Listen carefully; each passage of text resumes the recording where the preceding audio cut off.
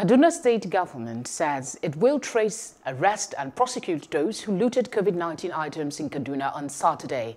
The state acting governor, Dr. Hadiza Balarabe, said in a statement broadcast nation statewide on Sunday. She said that security agencies had already arrested some of those involved. Balarabe warned that much of the looted property is a threat to public health, including the expired and dangerous drugs that were taken from NAFDAC and the 8,000 tons of chemically treated soybeans stolen from a private feeds processing company.